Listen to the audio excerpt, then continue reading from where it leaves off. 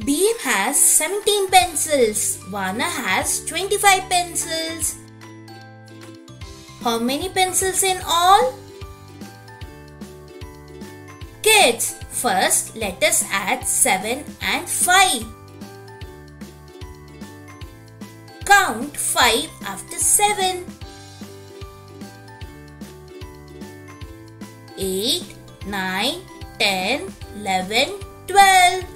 So, 7 plus 5 is equal to 12. Write 2 the second number in blue box and 1 first number in the second box. Now add 1, 1 and 2. First add 1 and 1. Count 1 after 1.